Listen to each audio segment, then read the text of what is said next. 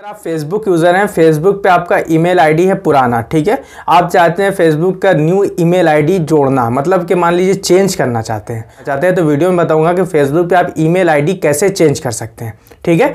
तो अगर आपको फेसबुक पे ईमेल आईडी चेंज करना है तो वीडियो को लास्ट तक ज़रूर देखिएगा। चलिए मेरे मोबाइल स्क्रीन पर तो अगर आपको फेसबुक पे ईमेल चेंज करना है ईमेल पहले वाला उसको चेंज करना है नया ईमेल डालना है तो आपको फेसबुक ओपन कर लीजिए। फेसबुक ओपन करने के बाद यहाँ पे देखिए थ्री लाइन भी दिख सकता है, नहीं तो प्रोफ़ाइल का ऑप्शन है प्रोफ़ाइल भी दिख सकता है। तो यहाँ पे प्रोफ़ाइल पे मैं टैप कर देता हूँ। फिर उसके बाद स्वाइप करके आपको नीचे आना है, फिर सेटिंग एंड प्राइवेसी का ऑप्शन दिख रहा है, बस सेटिंग एंड प्राइवेसी पे जैसे ही जैसे ही सेटिंग एंड प्राइवेसी पे आप टाइप कीजिएगा तो यहाँ पे सेटिंग का ऑप्शन खुल जाता है। तो आपको क्या करना है सेटिंग का ऑप्शन पे जाना है।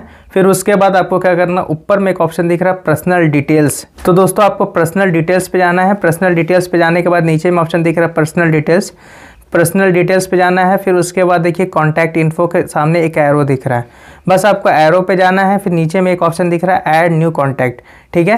तो अगर आपको चेंज करना है तो पहले मैं बता देता हूँ, पहले आप एक ठो जोड़ लीजिए। जोड़ने के बाद इसको हटा दीजिएगा तो सही रहेगा। तो क्योंकि फेसबुक आप लॉगिन कीजिएगा तो बिना फेसबुक मोबाइल नंबर या ईमेल से कैसे लॉगिन कीजिएगा? तो अगर आपको फेसबुक पे ईमेल चेंज करना है तो पहले एक ईमेल को या फ़ोन नंबर को ऐड कर लीजिए। ऐड न्यू कॉन्टैक्ट पे जाके मैं एक ईमेल को ही ऐड कर लेता हूँ। ऐड ईमेल है। ऐड ईमेल पे करके यहाँ पे देखिए चेंज करना है तो आपको तो ईमेल जो आपको चेंज करना है न्यू ईमेल डालना है तो यहाँ पे पहले डाल दीजिए। तो मैं तो मैं अपना ईमेल आईडी यहाँ पे डाल देता हूँ। ईमेल आईडी मैंने डाल दिया है, फिर उसके बाद आपको अकाउंट सेलेक्ट करना है तो यहाँ पे इस पर टाइप करना है। जैसे ही टाइप कीजिएगा तो नीचे ये ऑप्शन ओपन हो जाता है। ये ऑप्शन ओपन हो जाता है नेक्स्ट का नेक्स्ट पे क्लिक तो देख सकते हैं आपके जीमेल पे छः अंकों का वेरिफिकेशन कोड आया होगा, जो आप यहाँ पे पुट कर दीजिए, यहाँ पे डाल दीजिए। तो देख सकते हैं मैंने यहाँ पे वेरिफिकेशन कोड डाल दिया है, फिर उसके बाद यहाँ नेक्स्ट हो रहा है। तो देख सकते हैं यहाँ पे क्लोज मैं करता हूँ तो यहाँ पे देखिए मेरा दोनों जीमेल आ चुका है, ठीक है? और ऐसे आप ऐड कर सकते हैं। आप क्या है, आपको ये जीमेल को हटाना है। तो ये जीमेल को आप जैसे ही इस पर क्लिक करना है, देखिए यहाँ पे फिर से मैं दिखा देता हूँ एरो का ऑप्शन है एरो पे क्लिक करना है।